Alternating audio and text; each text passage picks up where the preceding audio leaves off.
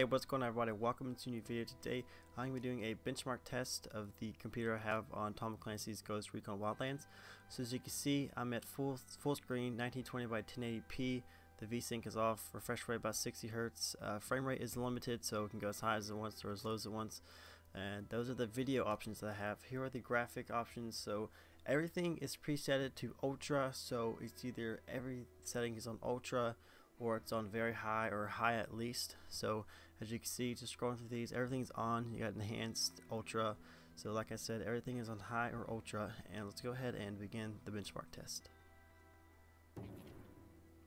So basically the benchmark test it kind of runs through some different kind of scenes that you will find as you're playing the uh, Ghost Recon Wildlands game. So at the bottom as you can see it's the the HUD there. So you've got my FPS the CPU percentage the RAM the, the GPU percentage your VRAM and then my graphics card temperature.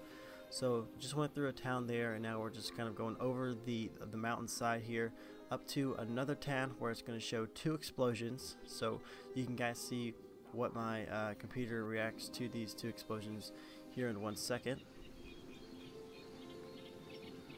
there's the first one and then there's the second one. So as you can see uh, frame rate is still pretty solid around 50 frames per second.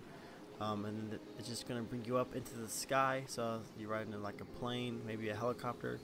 And then there's the last explosion there. So that's the end of the benchmark test. You can see the results there. If you guys enjoyed the video leave a like. If you need the channel subscribe. And I'll catch you guys in the next Ghost Recon Wildlands video.